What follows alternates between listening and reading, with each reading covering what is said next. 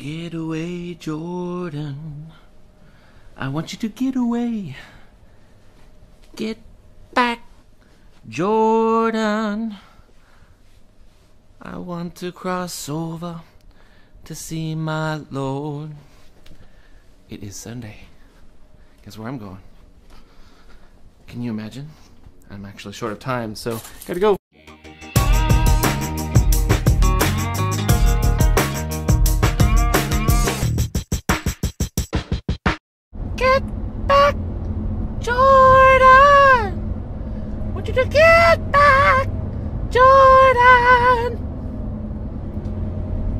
Want to cross over to see my Lord. I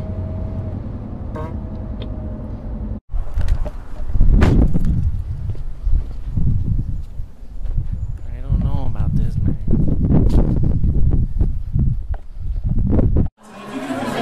Sit up on your feet, turn around, shake somebody's hand, give them a compliment, tell them they look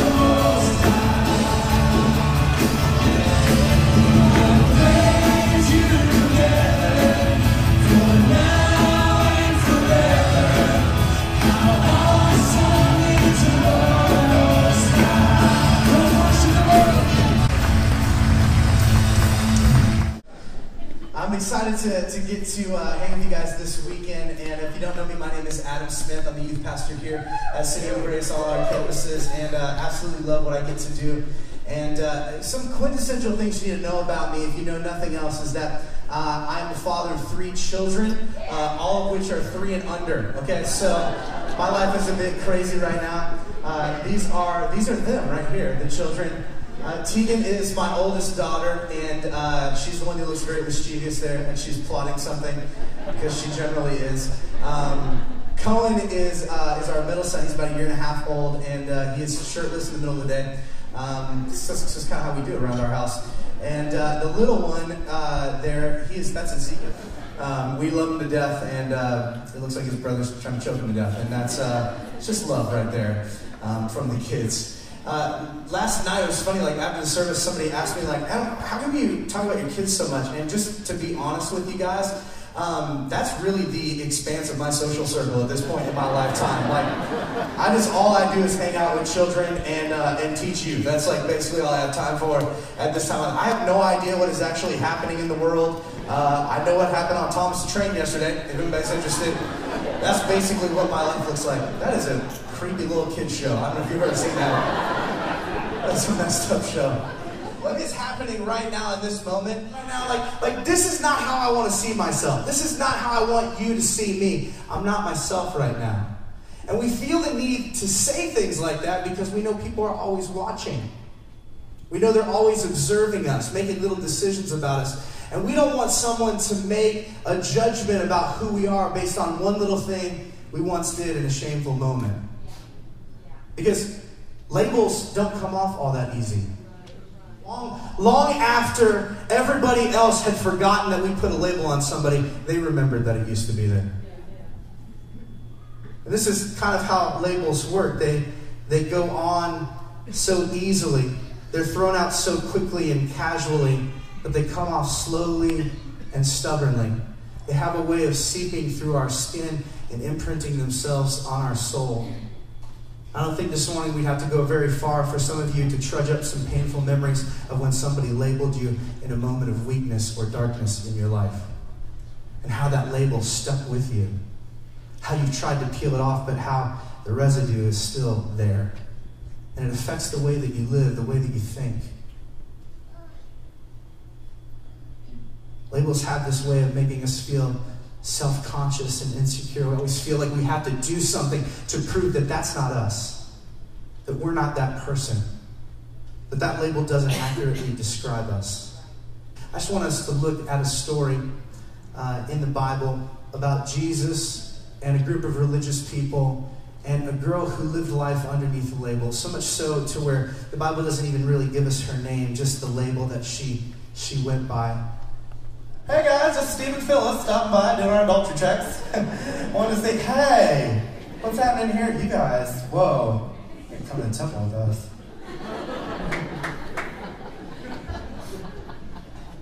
But these people would have had to have known that this was like a struggle for this woman.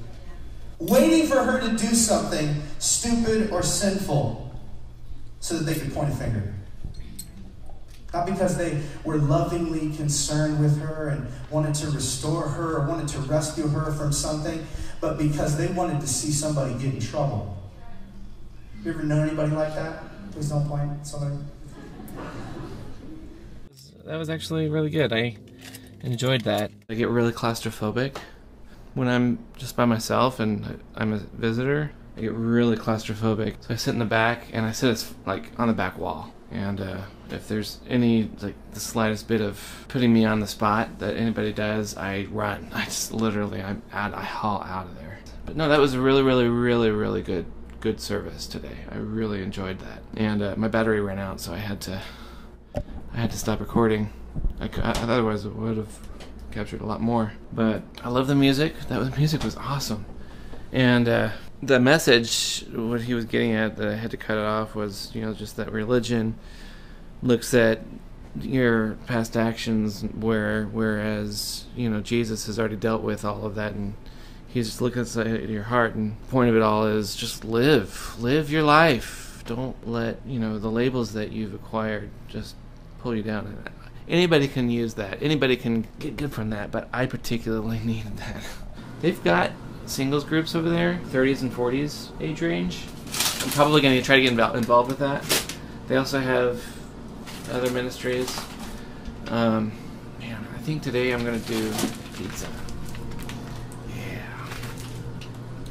Um, I tried to frequent that church before, and the problem I had there was like I went like three or four times in a row, and like two of the three times I went in a row, they tried to hyper spiritualize the importance of giving to the church, which I'm I'm just very sensitive about that because there's so much there's just so much to glean from the Bible besides the spiritual aspects of giving to your church. And so that just really came across to me as the commercialization of of the service. I just don't I hate that. I really hate that. I have no problem with it on occasion, right? Like if it's every 3 months or so they have a sermon on you know that you should give, but if it's you know, I went. I gave it three, not one shot, not two shots, but three shots. And at that point, sixty-six percent of the time, they were talking about money. Give it, give it, give us your money. But this one today, that was really good. I, I really got got good out of that. So I think I'm gonna make that my home church and keep frequenting it beyond Sunday. Very good. Very good. Very, very good. Very good. Very, very good.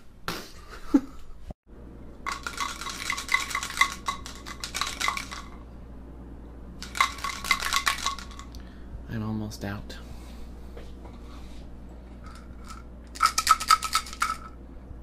A little bit more there.